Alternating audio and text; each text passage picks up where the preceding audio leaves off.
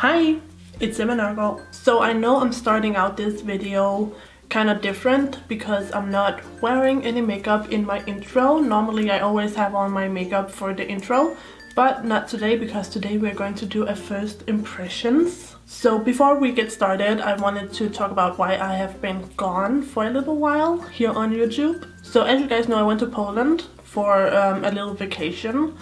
And if you follow me on Instagram, you have seen all the pics that I have been putting out. I had a really good time. I ate a lot of cake. And when I got back home to Denmark, um, I had my bachelor exam. So yeah, I graduated my bachelor. So now I am officially um, Bachelor of English. And I have also started school again. So now I'm doing cultural studies. So that is what has been going on and why I have been gone from YouTube for a little while.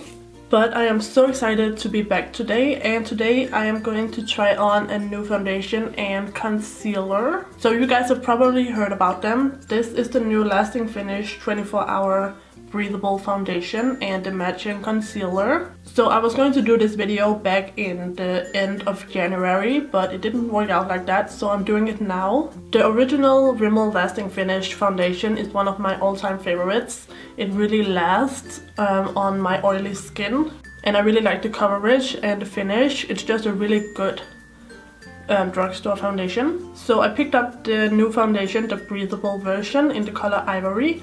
I am usually ivory in all Rimmel's foundations, so hopefully it's a good match. And I picked up the matching concealer in the color number 001 Light Ivory. And I just wanted to talk about the color selection real quick because as you guys know, if you're into makeup, um, the whole revolution with diversity and inclus inclusivity and um, represent representation has just been really huge, um, especially after Fenty Beauty launched. And I feel like after Fenty Beauty launched, a lot of companies really got on board with expanding their shade range. However, for some reason in Denmark, um, you can get these two products, but they're only available in a very limited number of shades. So my color Ivory is available, but in Poland I saw that they had a color lighter than this and that one is not available in Denmark. You cannot buy it here. And the concealer I got is not available in Denmark. Um, the lightest color we have here is the color Fair, which is basically the same color as this foundation, at least that's what it looked like. And I just don't understand that. I know a lot of products that are available in the US and in Europe um, in Europe we just don't have the same amount of colors as the US does. And that makes a little more sense to me. But to have two European countries that are both EU members and not release the same colors, I mean, I just don't get it. So I'm so happy I picked this one up in Poland because I wouldn't have been able to get it in Denmark. So that was just a little FYI um, because I just wanted to give an international perspective because um, the shade range here in Denmark is really poor. It's getting a little bit better. I saw L'Oreal put out some new shades, Maybelline, but like for drugstore and affordable makeup in Denmark, the shade range is just, it's really bad. Anyways, I'm going to put on a primer and then we're going to test out the foundation. So I'm using W7's Prime Magic Face Primer and I'm going to apply this all over. Um, I know like Shaaanxo, she does like half a face with, with primer and the other half without but I never wear foundation without primer so I thought I would apply it all over. So I'm going to shake up the foundation. And this foundation has a huge doe foot applicator. And I'm going to apply two dips to my face and see what kind of coverage I get. It is medium coverage, that's what it says. So I feel like it's on the verge of being a little bit too dark for me, but it's probably fine. So I'm going to use this clean foundation brush and just blend it out. This one smells exactly like the, the original Lasting Finish. It has kind of like a fresh smell, I can't quite describe it. So it's definitely a medium coverage. I would even say on like the lighter end of the medium coverage. And it blends out fine with a brush. I don't find it to be streaky. So this is the first layer of coverage. Um, it did not cover up my acne scars or all of my redness like here on the chin. And it didn't cover up you know my broken capillaries is that what it's called? And it's looking ever so slightly cakey down here on the chin and around my nose. And normally foundations do tend to look a little bit cakey around my nose but not really on my chin so that's not so great so I'm going to do one more layer and again I'm using two it's not two pumps but you know I dip in twice and I'm going to stipple it out and see if that adds more coverage. So that's what I'm talking about, it's adding more coverage. I like that. I really like it now that I have the second layer on that really made a huge difference. It took it from like a light medium coverage to definitely a more flawless but still natural medium coverage. So I'm going to zoom you in so you can see so this is what the foundation looks like up close. So the skin has definitely been evened out. It is a tiny bit cakey around the nostril and a little tiny bit down here, but not.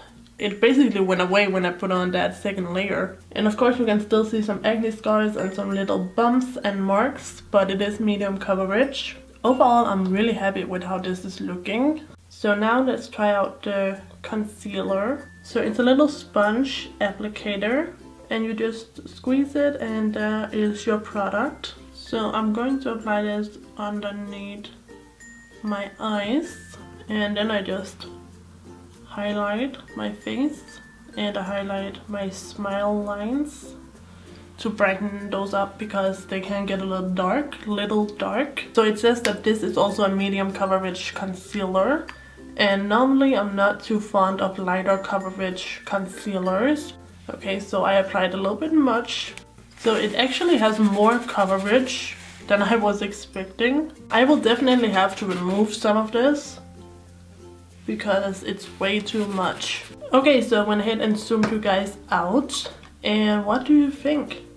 I think it looks really good. So I'm going to set with my Laura Mercier um, translucent loose powder. I always set my foundations except for my Rimmel Stay Matte. That one I do not have to set. I can if I want to but it's not absolutely necessary. And I think my foundation does not feel tacky whatsoever.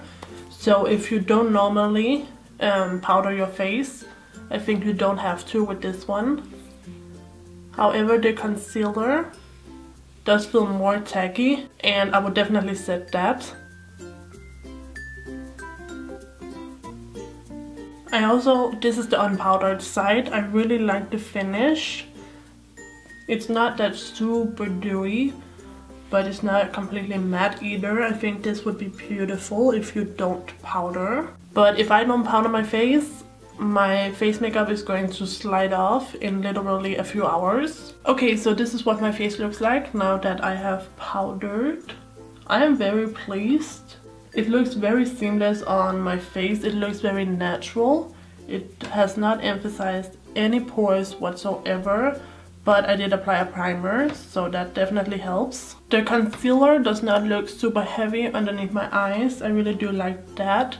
However, it is definitely, definitely only medium coverage because I can see some blue circles. But that's not surprising, it is a medium coverage concealer. So overall, I really do like it. It does not look heavy and it looks really naturally pretty. And as far as the color goes, I think it's a really great shade match. So I'm going to go ahead and apply the rest of my face makeup and I will be back to do half of my face with setting spray.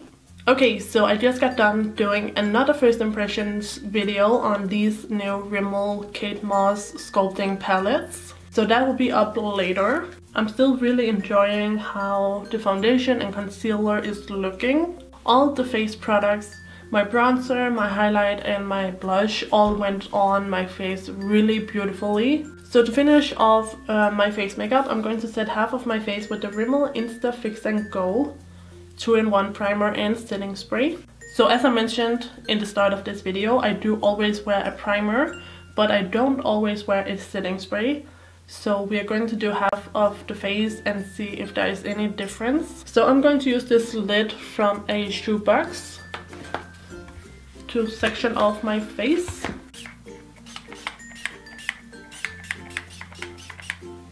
So we will see if this side looks better and wears longer than this side. So I'm just zooming you guys in so you can see what the face looks like right now.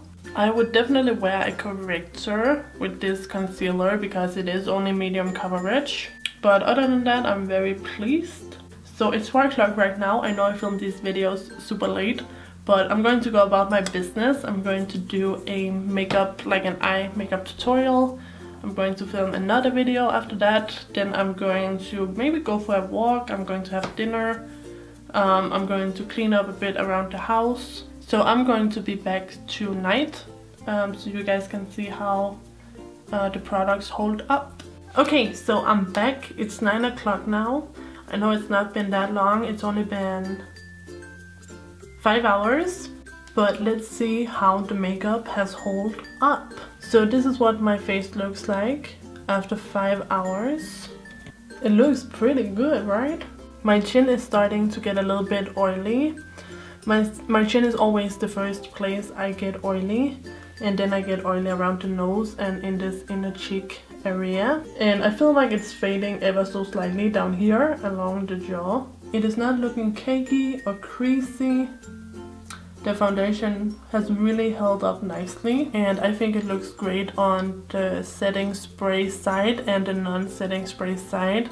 However, I think it looks a little bit better on the setting spray side, but that makes sense. It's a little more cakey over here. The concealer also looks really good.